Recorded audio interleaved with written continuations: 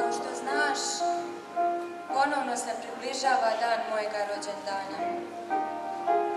Vjerujem da će se i ove godine po cijelom svijetu priređivati slavlje tome u čast.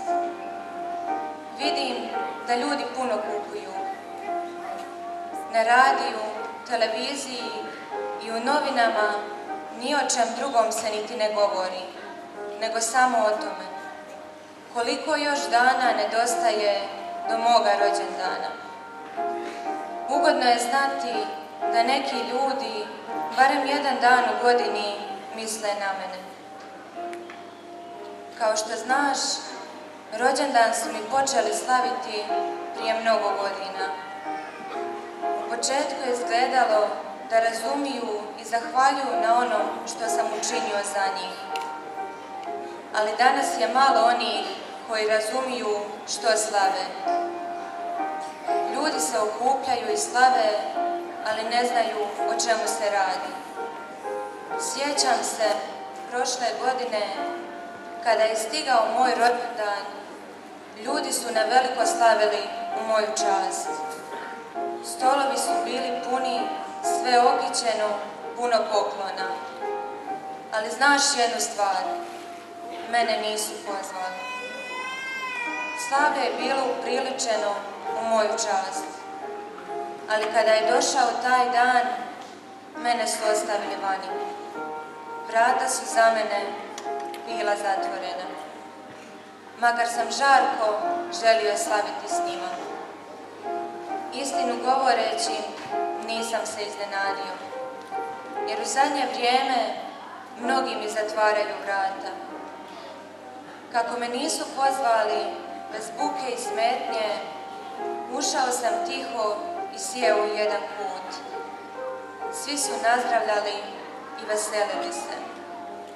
U jednom trenutku unutra je ušao jedan starac, duge bijele brade, obučen u crveno. Izgledao je malo pripit. Umorno je sjeo na fotelju i svi su potrčali k njemu. Veseleći se, kao i da je veselje priređeno njemu čast. Točno u 24 sata svi su počeli nazdravljati, grliti se i čestitati. Ja sam također ispružio ruke, očekujući da će me netko zagrliti. Ali nitko me nije zagrlio. Počeli su jednim drugima davati poklone. Približio sam se da vidim da slučajno nemaju kakav poklon i mene. Ali za mene nije bilo ništa. Kako bi se ti osjećao kad bi na tvoj rođendan jedni druge darivali, a tebi ne bi dali ništa? Shvatio sam da sam suvišan na ovom rođendanu. Stoga iziđoh bez buke i za sobom zatvorih vrata. Svake godine je sve gore. Ljudi se samo sjećaju hrane, poklona i slavlja, a mene se nitko ne sjeća. Želio bih da mi dopustiš da ovaj Božić uđem u tvoj život, da shvatiš da sam prije dvije tisuće godina došao u ovaj svijet i da sam dao svoj život na križu i za tebe. Danas jedino što želim jest da to vjeruješ cijelim svojim srcem. I nešto ću ti reći. Mislio sam kako me mnogi ne pozvaše na svoje slavlje, učinit ću sam svoje veličanstveno slavlje, kako još nije viđeno. Priređujem sve što je za to potrebno. Šaljem mnoge pozivnice, među kojima je jedna posebna i za tebe.